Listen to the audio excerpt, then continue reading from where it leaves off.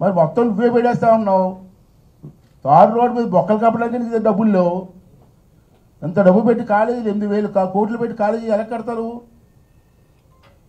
ఎన్నాళ్ళు మోసం చేస్తావు జనాన్ని? ఎలక్షన్ ముందు మోసం చేస్తావు. ఇది కూడా మోసం కదా? చేయి మేము ఆహ్వానిస్తాం. మెడికల్ కాలేజ్ మా ప్రాంతాలకు మాకు గొప్ప కదా. ల్యాండ్ ఎక్విజిషన్ చేసేసాడు. స్టేట్ గవర్నమెంట్ డబ్బుతో. పర్మిషన్ లేకుండా ల్యాండ్ ఎక్విజిషన్ ఓకే. అప్పటికే మా రైతులు నా దగ్గర వచ్చారు ఈసారి ఇవ్వమంటారు ఇవ్వమంటారు. మెడికల్ కాలేజ్ వస్తే మనం మంచిదిరా. మా ల్యాండ్ వాల్యూస్ పెడితే మీ భూములు రేట్లు పెడితే అని చెప్తే వాళ్ళు ఇచ్చారు. ఇప్పుడు ఆ ల్యాండ్ ఏం చేస్తావు? పర్మిషన్ రాలే? ఒక ముఖ్యమంత్రి హోదాలో ఉండి పర్మిషన్ లేకుండా ఎలా శంకుస్థాపన చేస్తావు? మళ్ళీ నిన్న మోదీని కలిపి నాకు పద్నాలుగు కాలేజీలు ఇవ్వని అడుగుతున్నాం ఈ కాలేజీలే.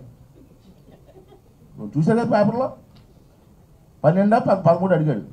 పన్నెండు అడిగాడు నిన్న మోదీ గారు పన్నెండు కాలేజీలు పెట్టి పంపించాం పర్మిషన్ మనం అంటే ఇంకా పర్మిషన్ రాలేదు. క్లియర్ కనపడుతుంది కదా.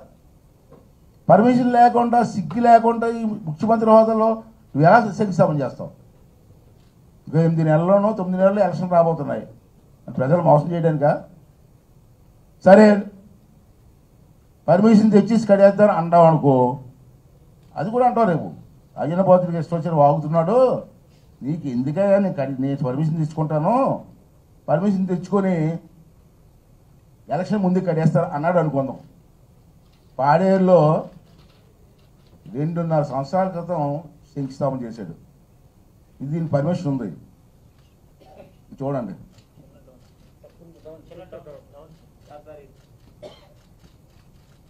ఇంకా పునాదుల లెవెల్లోనే ఉంది. రెండున్నర సంవత్సరాల నుంచి పునాదుల లెవెల్లో ఉంటే నేను ఆ కాంట్రాక్టర్కి ఫోన్ చేసి మొన్న మాట్లాడితే ఏమయ్యా కట్టలేదంటే కట్టిన దానికి బిల్లు మాకు దిక్కులేదండి ఇంకే కడతా ఉన్నారు ఆ కాంట్రాక్టర్.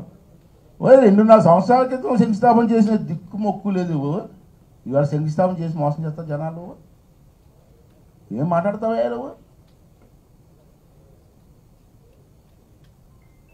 అరే అనేక కార్యక్రమాలు ఉన్నాయి. ఏం చేసావు నువ్వు?